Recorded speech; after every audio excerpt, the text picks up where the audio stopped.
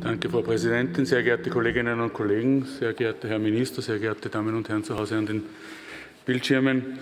Ähm, wir diskutieren hier äh, diverse Berichte eben aus dem Gesundheitsausschuss.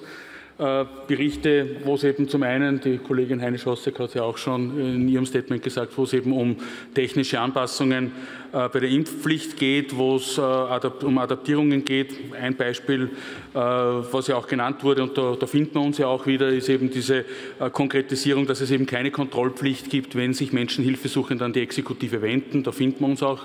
Wo wir uns nicht finden, ist in der Frage der digitalen Plattformen, weil das war eigentlich von vornherein immer klar, dass hier die Bundesländer eine gewisse Verantwortung Verantwortung selber zu tragen haben. Äh, das war auch während den Verhandlungen immer wieder äh, Punkt und ist also auch während den Verhandlungen auch immer wieder auf den Tisch gekommen. Spannenderweise haben sich heute halt auch hier die Bundesländer, zumindest ist das mein Wissensstand, äh, sich auch in der Begutachtung etc. sich hier nie entsprechend eben geäußert. Aber wir werden auch das hier heute dementsprechend eben noch anpassen und werden auch diese Frage, wo es eben um diese Ausnahmezertifikate eben geht, soweit regeln, dass das eben eindeutig ist und dass das eben geklärt ist. Äh, und dass eben auch hier eine entsprechende rechtliche Grundlage eben besteht. Dementsprechend möchte ich auch hier gleich zum Top 5 einen entsprechenden Abänderungsantrag eben einbringen, wo es eben um diese digitalen Ausnahmezertifikate, um das Ausnahmemanagement auch insbesondere in der äh, Überschneidung zwischen den einzelnen Bundesländern geht, damit eben auch diese Kritik eben auch Genüge getan wird und dass wir eben dieses Thema äh, damit eben hoffentlich endlich vom Tisch bekommen, sodass eben diejenigen, die eben eine Ausnahme von der Impfpflicht vorweisen können, dementsprechend das eben auch glaubhaft in den Systemen so drinnen haben, dass sie eben auch im Falle des Falles nicht gestraft werden können. Ich glaube, das ist wichtig und da brauchen wir uns nichts vormachen. Das, das muss einfach sauber ge geklärt sein. Aber nur einmal, wie schon gesagt, diesen Vorwurf jetzt hier in die Richtung der, der Bundesregierung zu setzen und so zu tun, als ob man hier äh, die Bundesländer irgendwann einmal im, im Regen stehen gelassen hätte, das stimmt einfach nicht und das muss man auch dementsprechend zurückweisen. Zum anderen geht es hier bei diesem Tagesordnungspunkt äh, auch darum, um die Frage der kommunalen Impfkampagnen. Ähm, leider Gottes haben wir hier jetzt keine Vereinbarung finden können, dass wir eben ähm, eine kommunale Impfprämie an die Kommunen eben ausschütten können. Aber zumindest können wir es einmal unterstützen, die Kommunen, Gemeinden, Städte äh, bei der Bewerbung, beim Aufklären äh, über die Impfung. Und ich glaube, das ist einfach insofern auch wichtig. Wir verabschieden uns von Ihnen auf ORF 3. Sie können natürlich im Livestream noch weiterschauen. Ganz am Ende des Tages wird es um die Aufhebung der Immunität von ÖVP-Clubobmann August Wöginger gehen. Mein Name ist Susanne Deubel. Es hat mich sehr gefreut, Sie heute durch diese Live-Übertragung des zweiten Plenarsitzungstages im Parlament eine Zeit lang begleiten zu dürfen sehr niederschwellige Art und Weise, dort, wo es eben auch notwendig ist, dementsprechend eben nochmals an die Menschen herantreten, sie davon überzeugen, impfen zu gehen, weil wir wissen, die Impfung ist unser bester Schutz in dieser Pandemie und hilft uns als Werkzeug gesehen auch am besten aus dieser Pandemie heraus.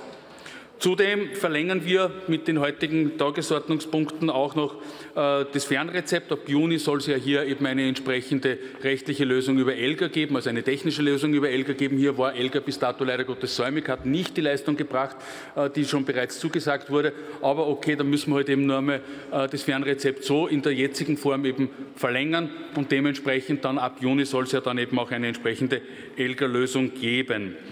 Was ich noch einbringen möchte, ist ein zweiter äh, Abänderungsantrag. Auch der wurde bereits verteilt, soweit ich das mitbekommen habe, äh, nämlich zum Tagesordnungspunkt 7. Äh, da geht es darum, dass wir eine letztmalige Verlängerung des sogenannten Erstattungskodex vornehmen mit dementsprechend, mit dementsprechenden Abschlägen. Neu ist eben auch hier dass wir einen Abschlag auch auf die sogenannten No-Box-Präparate vornehmen. Das ist mir persönlich sehr wichtig, weil das sind sehr, sehr teure Präparate, wo es eben auch darum geht, dass wir auf der einen Seite eben äh, unsere Sozialversicherungen dementsprechend für die Zukunft eben auch entlasten versuchen.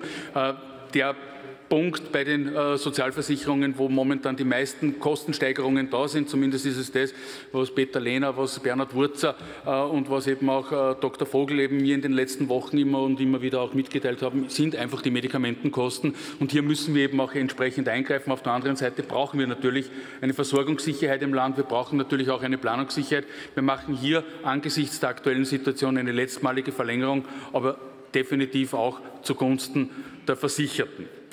Was ich noch zum Schluss noch äh, anführen möchte zum Thema Komplementärmedizin, wird dann eh meine Kollegin Eva Blimlinger noch sprechen. Ich möchte aber schon noch zwei Dinge noch gerade rücken, weil sie erst geheißen hat, es passiert nichts. Und wir haben es ja gestern schon öfters gehört.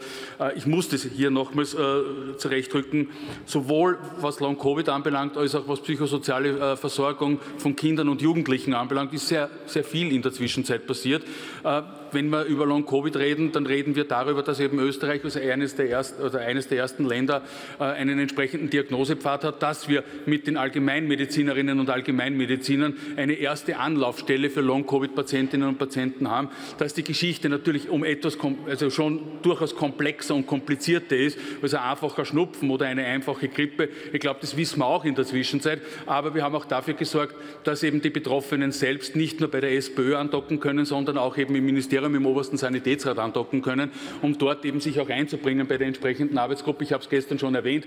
Es sollte hier heute nochmals erwähnt werden, weil ja offensichtlich immer so getan wird, als ob das alles nichts wäre. Das andere Thema, wo es um die psychosoziale Versorgung von Kindern und Jugendlichen geht, ich glaube, die Kollegin Heine Schossek hat die Pressekonferenz des Ministers gemeinsam mit der Staatssekretärin Plackholm äh, und mit dem Minister Polaschek letzte Woche versäumt, weil da ist es ganz genau um das gegangen, nämlich um ein eigenes Paket, äh, um ein eigenes Paket, Kollege Stö Stöger, man hört dich hier draußen leider eh nicht, wo es um ein eigenes Paket gegangen ist, eben für die psychosoziale Versorgung von Kindern und Jugendlichen durch Psychotherapeutinnen und Therapeuten und durch Psychologinnen und Psychologen. Also wir tun da schon einiges. Also in diesem Sinne, ich bitte um Zustimmung zu den beiden Abbauänderungsanträgen und Kollegin Heine Schossek, ansonsten können wir uns ja nachher noch mehr darüber unterhalten, was wir da die letzten Wochen so alles auf den Weg gebracht haben. Danke. Die beiden Abänderungsanträge wurden in den Grundzügen erläutert, werden gerade verteilt oder wurden bereits verteilt und stehen mit in Verhandlung.